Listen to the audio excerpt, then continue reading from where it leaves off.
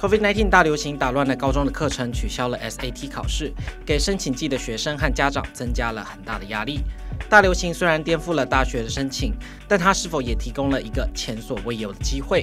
由于可供选择的 SAT 和 ACT 考试机会很少，今年大多数大学都不再要求学生取得 SAT 和 ACT 考试成绩。如何在没有 SAT 成绩的情况下取得更好的 offer？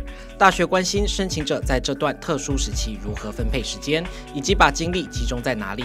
大学想要看到的不仅仅是一个学生应有的学术的责任，而是学生们从疫情中。吸取了什么感想，以及这些感想如何塑造学生们成为未来想成为的人？敬请锁定周日晚间六点三十分国语一台以及无线三台七点三十分的《天下纵横谈》。二零二一会是 SAT 的终结年吗？